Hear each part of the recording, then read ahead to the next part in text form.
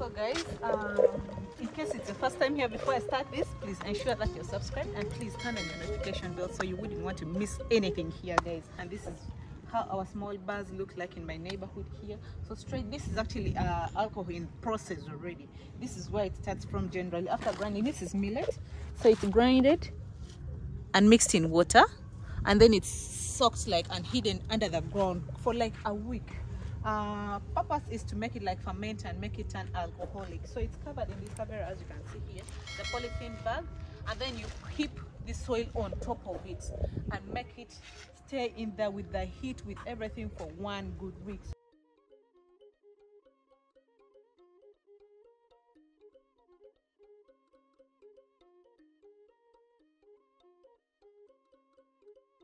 so guys as you can see the environment is really unique and yes uh, like i told you initially it's unique for a purpose. A lot of things vegetable right here. This is also food because the owner of this place actually stays here. So she has to get food stuff right from here. Like there are things that she does not really buy. You can see cane right behind me in the background. So like i showed you the other flower which is dug and hidden under the ground for like a week. After removing it out this is how you roast and it turns out like golden brown very beautiful color. And this is i could say this is alcohol in in, in, in like solid form or, or flour or something because that right there if you just eat it will actually make you drunk you won't believe it. If you eat that for like long it will make you drunk. So after that it comes to this as you can see. It's again soaked in water for some days. And this is now where the real chemistry happens. I think i think you notice some kind of bubbles. I, i'm not sure if you're able to see but there's some kind of like bubbles popping out.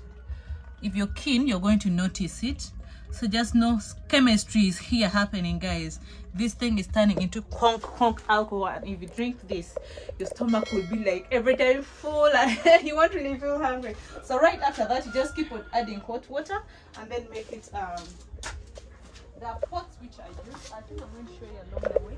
So these are the containers. Now you pack them in the containers with hot water.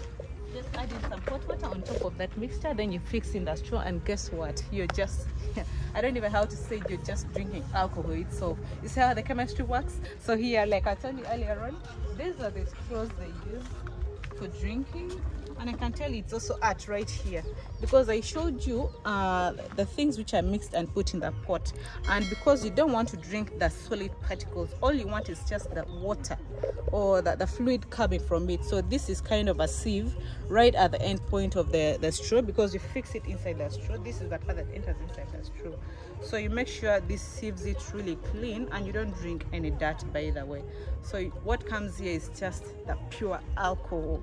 And that is what i told you earlier on that what we saw on the compound here looks like waste. It is not waste. Now that is the end product of what remains under the pot. And it's right here.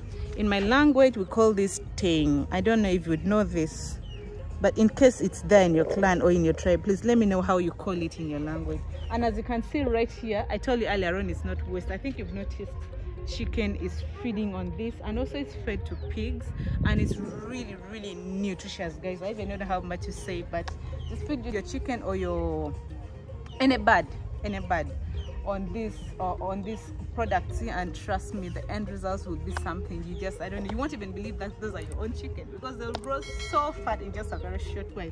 Even your own pigs guys guys like i told you they keep adding hot water into that mixture. This right here is a point where hot water stays constant. There's constant hot water here. And it never gets off this place. So this fire is like there throughout. For as long as the customers are here to drink this fire is always on with a lot of hot water. Because that is like i could say i don't know one of the biggest component of the alcohol hot water. And that is why you see this place very standby waiting. In case any customer comes up right now hot water is here ready to serve. And right next to this hot water guys I, I could say the powerhouse because I told you this guys use a lot of flour here a lot like a lot. And right here is a grinding mill. She made it actually very easy. She has her own grinding mill right here. So anytime any like even in the middle of the night she can just wake up and grind her flour. And I can tell you the stock here is just I don't know raw materials millet flour stuff like everything here is just like I can like you can see the setup. Everything here is just flour flour flour flour flour guys So and then right here is just um, the shelter for the customers to sit. And right inside here, guys, is where the I could say the real bar is. These are the pots they use for um, putting the alcohol, and people sit in circles in groups. And as you can see, actually, the setup of the chairs they're arranged in a manner that it's circle, so the pot is placed right in between, and everyone gets their own straw from the same pot. So, guys, I'm washing my hands to go and so this is the one which is actually ready for for drinking. And you first have to shake it a bit like this. You mix. So this particular container here is 2000 uganda shillings which is uh, i don't know how to say not not not like half a dollar. It's more than half a dollar i could say. Now this what you're seeing here is picked from it's this very thing here which is on top. So i'm just going to throw this a bit here. And you know why? I think you're going to notice when i pour the water you're going to notice everything just swells up. So let's go for some hot water.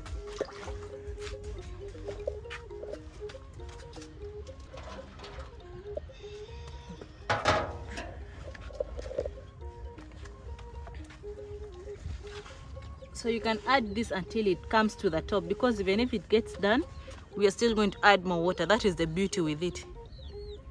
You just keep adding water into it like that. This is what i told you about guys. How the thing just rises on top after adding the other i don't even how how to call it again the millet product we added in. So this is taken right here where we are supposed to sit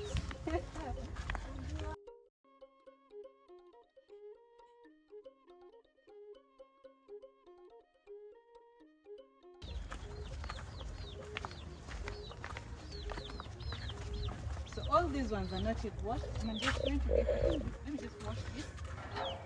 This right here. And I use this.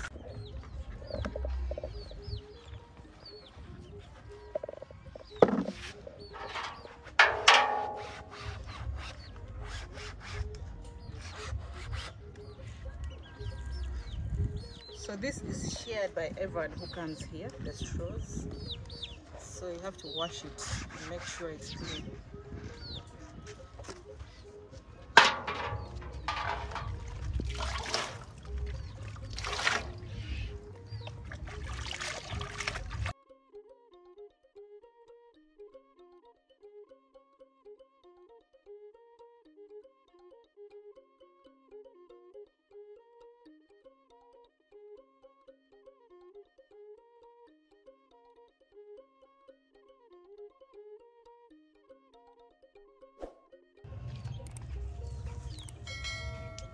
So the hot water passes through and cleans it really neat. Then you dip this part again before you hand over to your customer.